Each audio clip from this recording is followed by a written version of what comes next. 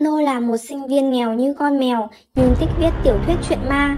Một ngày nọ, Nô nhận được một món quà từ một người bí ẩn, nhưng chắc ai cũng đoán ra được đó là thằng mõm.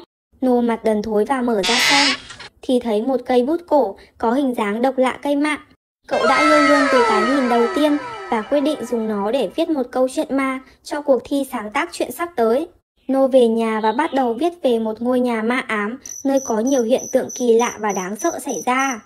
Cậu miêu tả chi tiết những gì mình nghĩ trong đầu ra, từ tiếng cười khàn khàn khủng khiếp cho tới bóng ma lả lướt ngoài hành lang, máu chảy trên tường và đến những cái chết bi thảm của những người dám vào nhà. Nô cảm thấy rất hứng thú và hài lòng với câu chuyện của mình. Nhưng Nô không biết rằng những điều cậu viết bằng chiếc bút đó sẽ trở thành hiện thực ở ngôi nhà ma ám. Những người sống ở gần đó bị ám ảnh bởi những âm thanh và hình ảnh kinh hoàng. Họ không dám ra khỏi nhà và sống trong sợ hãi. Một số tiktoker tò mò đã vào nhà để thám hiểm nhưng chỉ thấy một đi mà không trở lại. Nô không hay biết gì về sự tồn tại của ngôi nhà hay những điều kinh khủng đó.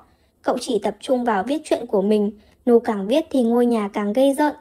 Đến một ngày thì Nô muốn kết thúc câu chuyện bằng một cú tweet.